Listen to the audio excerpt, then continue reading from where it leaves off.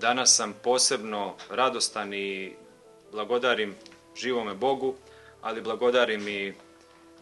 ministru Vučeviću, Upravi za vojno zdravstvo, Vojnoj medicinskoj akademiji,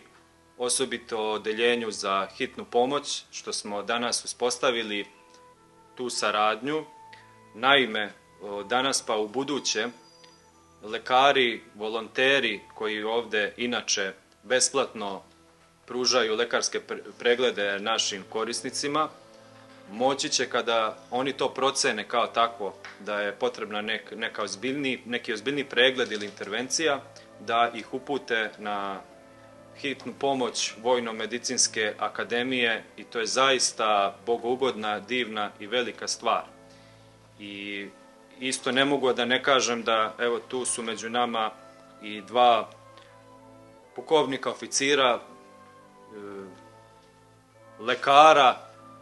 vrz, vrsna, koji su već danas ovaj, se prijavili da između ostalog budu i volonteri ovde u VDS-u, tu je dakle e,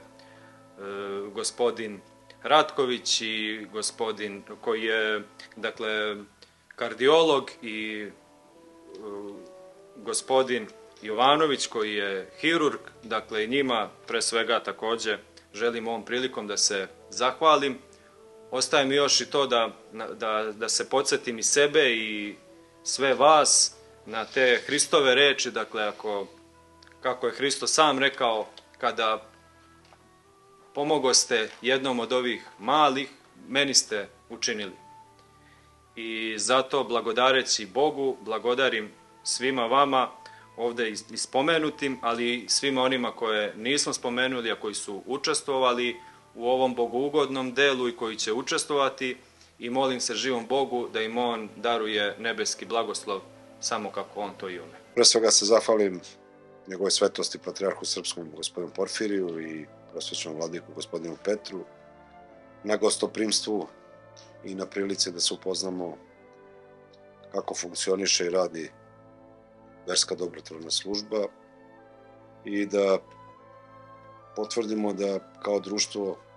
jesmo solidarni, odgovorni, da imamo empatiju prema našim sugrađanima i sunarodnicima, kojima je podrška u jednom delu života. Potrebna, da ne okrećemo glavu na drugu stranu kada se neko nađe u problemu, da razumemo da i naša sveta crkva nije samo kažem, angažovan u verskim objektima, nego ima širi društveni karakter, ali da pokažemo da Ministarstvo odbrane je isto partner u brizi o svim našim građanima i ponosan sam na upravu za vojno zdravstvo, na Vojnu medicinsku akademiju, što smo,